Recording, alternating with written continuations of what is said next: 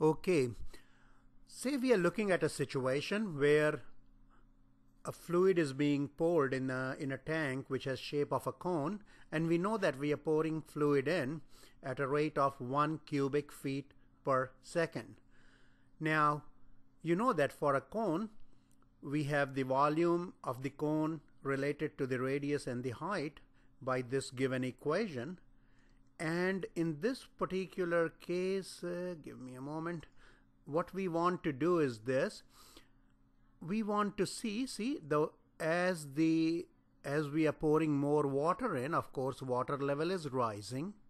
So we would like to know the rate at which the water level will rise if we know the rate at which we are pouring the volume in okay? So I'm going to write an example explaining you this and uh, I may not include a video of that. That will be in a, in a in text format. So let me know if you have any difficulty